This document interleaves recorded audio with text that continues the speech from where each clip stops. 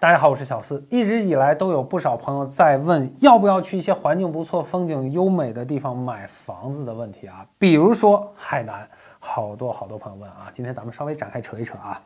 这个一般情况下想去这种地方买房的朋友们，就两种目的啊，一种叫养老自住，一种叫投资。养老自住这一点，大家需要注意一个问题啊，就是养老这件事儿。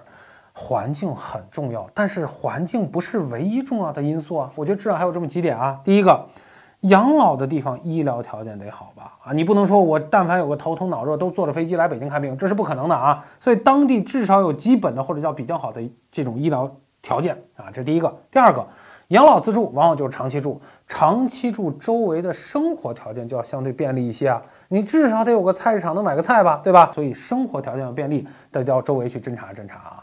那么第三个，相对来说交通要方便一些啊，真是有个什么病啊，有个怎么在想出来上方便的多，对吧？所以你就要环境好，又要生活条件便利，又要医疗条件，还有一些保证，再加上比较好的交通，你去海南岛看看有多少地方具备这种条件啊？这个海口可能有，别的地方呢，大家可以去看一看啊，有很多地方很漂亮，但是其他条件不具备。所以如果在那种地方你买房子来作为养老自住的话，我觉得住不成，所以说啊，想去这种地方买房子的，我觉着要做足功课，而且要根据自己的条件好好的评判评判。最后，咱们头条的观众老爷们一定要点击视频下方的了解更多，快速领取武林秘籍。